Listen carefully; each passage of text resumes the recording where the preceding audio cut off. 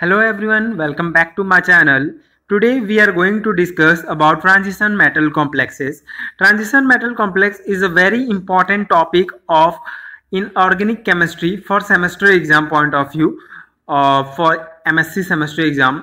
It is very important topic because inorganic chemistry में अगर हम देखेंगे तो सेकेंड uh, सेमेस्टर में आपको ट्रांजिशन मेटल कॉम्प्लेक्स का ये जो टॉपिक्स uh, हैं जैसे कि एल्किन एल्काइंस एरिन्स ये जो क्वाइट इंपॉर्टेंस जो हमारे ट्रांजिशन मेटल कॉम्प्लेक्स हैं उसके आपको structures methods of preparation bonding वगैरह आपको क्वेश्चंस आपको पूछता है तो बहुत इंपॉर्टेंट टॉपिक है। तो आज हम इसी को डिस्कस करेंगे कि ट्रांजिशन मेटल कॉम्प्लेक्स क्या होता है और इसमें एक important alkene transition metal complex को देखेंगे, जिससे जी सॉल्ट का प्रिपरेशन कैसे होता है, इसका स्ट्रक्चर कैसे होता है। तो स्टार्ट करते हैं transition metal complex with unsaturated organic molecules the molecules that have multiple bond such as C double bond C C triple bond C N double bond O N triple bond N जैसे कि कोई भी molecule जो multiple bonds होते हैं जैसे कि C double bond C triple bond C तो ये हमारे जो मॉलिक्यूल्स होते हैं जिसमें मल्टीपल बॉन्ड्स हैं ये form can form complexes with an transition metal with which are called pi complexes ठीक है? ये जो हमारे मल्टीपल uh, बॉन्ड्स हैं ये पाई ये जो है कॉम्प्लेक्स बना सकते हैं ट्रांजिशन मेटल्स के साथ जैसे कि एल्किन एल, एल्काइन एरिंग्स ये ट्रांजिशन मेटल्स हैं इनके साथ जो है ये फॉर्म कम्प्ली एक जो है कॉम्प्लेक्स का फॉर्म बनाते हैं, जिन्हें हम पाई कॉम्प्लेक्स कहते हैं। The pi complexes are transition metal with unsaturated organic molecule such as alkene alkyne arene etc are quite important जो हमारे ट्रांजिशन मेटल है अनसेचुरेटेड ऑर्गेनिक मॉलिक्यूल है, जो पाई कॉम्प्लेक्स होते हैं ट्रांजिशन मेटल के साथ बनाते हैं हमारे जो डबल बॉन्ड्स ट्रिपल बॉन्ड्स वगैरह जो हमारे मल्टीपल बॉन्ड्स होते हैं, ये ट्रांजिशन मेटल के साथ मिलके जो पाई कॉम्प्लेक्स बनाते हैं, इसे एल्किन एराइन एरिन ये इसके एग्ज़ाम्पल है, जो quite important transition metal complexes होते हैं, जिसको हम, हमको जो है सेमेस्टर एग्ज़ाम के पॉइंट ऑफ़ व्यू से अध्ययन करना है। तो ये था ट्रांजिशन मेटल कॉम्प्लेक्सेस आपको सिंपल से अगर डेफिनेशन आता है तो आप ये लिख सकते हैं कि what is transition metal complex आएगा। तो आप ये डेफिनेशन लिख के आप इसका ये एग्ज़ाम्पल दे सकते हैं। अब जब मोस्ट इंपॉर्टेंट टॉपिक है, ये हमारा transition metal complex alkene complexes ठीक है? इनमें से एक है एल्कीन एल्काइन एरिन तो आज हम डिस्कस करेंगे एल्कीन के बारे में। एल्कीन क्या होता है? In 1827, the Danish chemist W.C. Gies isolate stable yellow crystalline of platinum ethylene complex in Copenhagen. It was called Gies salt. Gies salt is the first alkene complexes. ठीक है जो डेनिस केमिस्ट से अठारह में W C जीस ने जो है एक कॉम्प्लेक्स का जो है खोज किया Copenhagen complex in Copenhagen it was called इसे जिस सॉल्ट कहा जाता है, जिसका नाम है हमारा येलो क्रिस्टल स्टेबल ये जो है जिस isolated stable yellow crystal of platinum ethylene complex in Copenhagen it was called इसे जो है जी सॉल्ट कहा जाता है। ये फ़र्स्ट एल्किन कॉम्प्लेक्स था। एल्किन ट्रांजिशन मेटल कॉम्प्लेक्स था, जो खोजा गया।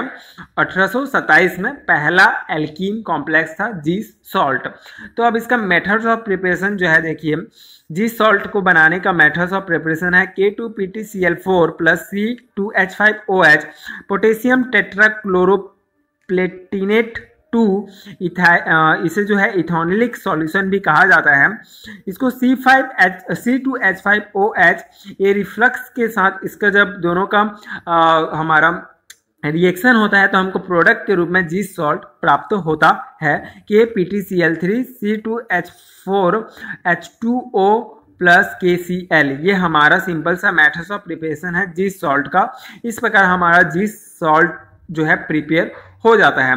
सेकेंड मेथड से हमारा K two P T C L four plus C two H five जो इथाइलिन के साथ जब हम इसका करते हैं रिएक्शन करते हैं, इसका potassium tetra chloro Palatinate two, जिसे इथेनॉलिक सॉल्यूशन भी कहा जाता है। इसका C two H five ethylene के साथ जब रिएक्शन करते हैं तो एस सी एल की उपस्थिति में एसेंशियल टू सेकिंग के बाद हमारा जो है जिस सॉल्ट का निर्माण होता है, जिसका फॉर्मूला होता है K P T C L three C two H four plus K C L ठीक है?